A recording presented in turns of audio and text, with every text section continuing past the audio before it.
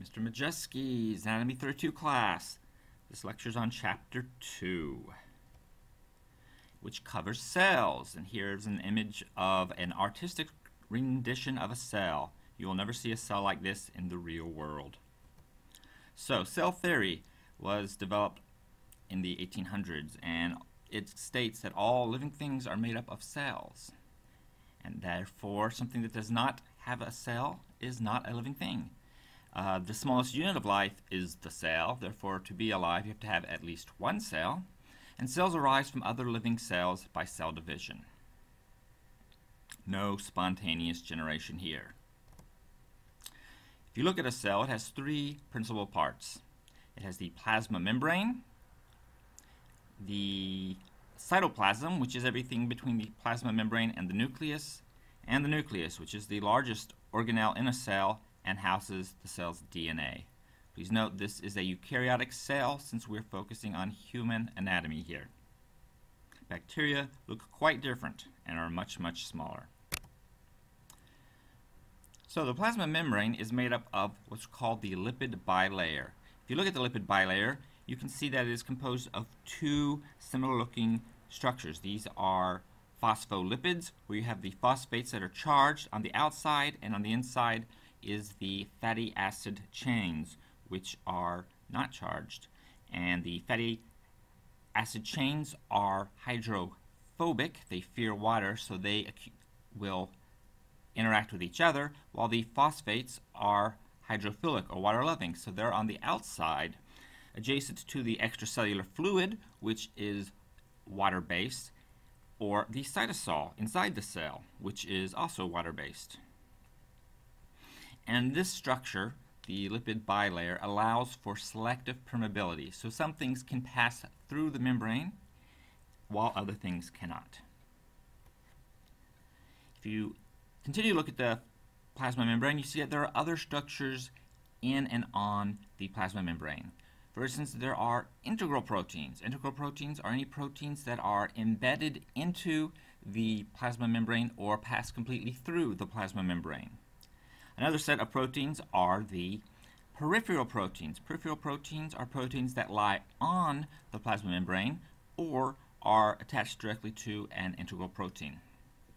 You also see that some proteins have carbohydrate chains coming off of them. These proteins can be referred to as glycoproteins. Glyco for carbohydrate, protein for, well, being a protein.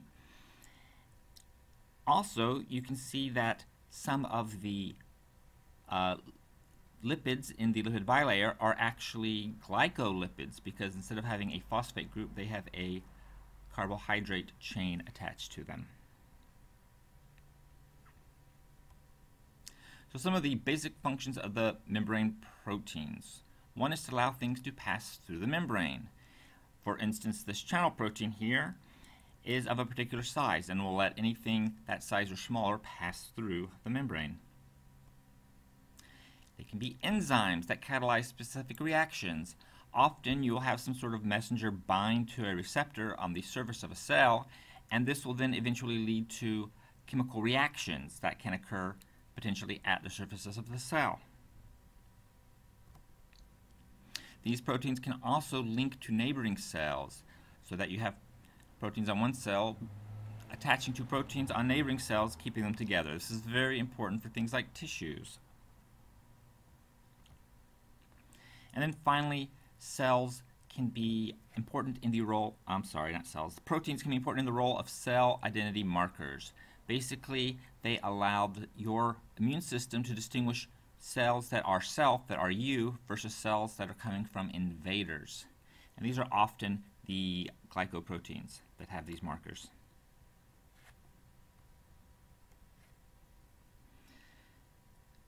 As I said before, things must transport across the plasma membrane. There are two ways this can happen. Through passive transport, which is along a concentration or electrical gradient, basically going from high to low. And it requires no energy input from the cell, so this is basically free. Examples of passive transport include diffusion, especially common among lipid-soluble solutes that they go from high concentration to low passing through the lipid bilayer without any, need, any needed intermediate. You're also going to have osmosis. Osmosis is only for water molecules, which can also pass through the lipid bilayer. And then there's facilitated diffusion. Again, this is where you would have some sort of channel protein that allow only uh, solutes or molecules of particular size to pass through. Again, from high concentrations to low concentrations. Then there is active transport. Active transport is basically the opposite of passive transport. It moves the substance against the concentration or electrical gradient. And so this will require energy from the cell. So with active transport, you would need some sort of ATP molecule, which is the energy currency of the cell, that will be broken down to ADP and an inorganic phosphate that will release energy, allowing that integral protein to take a molecule from high concentration, uh, low concentration, sorry, and release it to the side where that molecule is at high concentration. So again, active transport going from low to high, requiring an energy source. Other forms of active transport use vesicles. In the two most common cases are endocytosis and exocytosis. In endocytosis, the adjacent plasma membrane will surround or engulf uh, the particle of interest. In some cases, this can be a food particle. Other cases, it could be an invading organism. Basically, pseudopods form from project out from the surface of the cell and engulf that particle, and that particle will then be in what's called a vesicle, which is a small sphere of plasma membrane, which is now referred to as just the lipid bilayer. Exocytosis is basically opposite. With exocytosis, a vesicle is formed inside the cell, and, in, and inside the vesicle will be molecules or substances to be excreted, and then this vesicle will fuse with the plasma membrane, releasing what's inside into the extracellular fluid.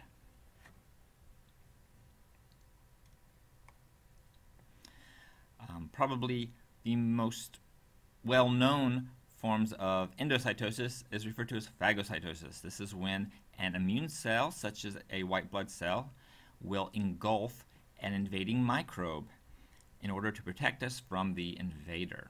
So again, it will form pseudopods that will surround the microbe and bring it into the cell, and then that microbe will basically be digested. Also, it's worth to point out that some organisms such as viruses, have found ways to hijack the whole endocytosis process in order to get themselves brought into that cell in order to infect it. Uh, this is referred to as receptor mediated endocytosis. So the second uh, major portion of the cell is the cytoplasm, everything between the plasma membrane and the nucleus. Within the cytoplasm, you have the fluid portion, which is referred to as the cytosol. Now, this fluid portion, while aqueous-based, is not really as liquidy as we like to think of fluids. It's actually more like uh, consistency of toothpaste. And within the cytosol are many structures, including organelles, which are specialized structures that do specialized functions. Now, one specialized structure found in the cytosol is the cytoskeleton much like our skeleton, it helps provide the structure of the cell. So the cytoskeleton serves as a scaffold for the cell, and also the cytoskeleton serves as a highway for the cell. It allows things inside the cell to move from place to place. There are three main kinds of um, filaments found as part of the cytoskeleton. The smallest of these is called the microfilament, and it is found mostly along the surface of the cell and is important in movement of the cell, such as forming those pseudopods, and also in mechanical support.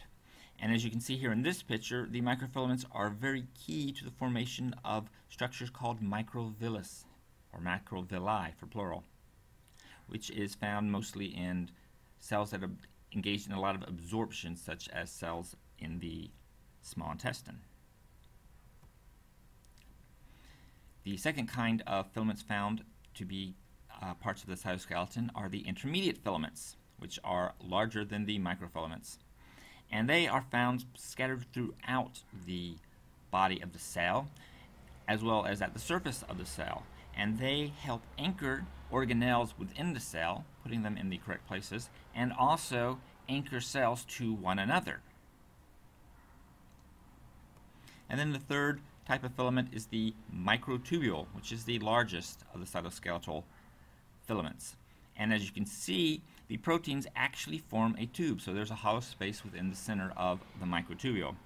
And the microtubule also is important in helping to determine the sh cell shape, and it's also involved in the movement of particular structures of the cell.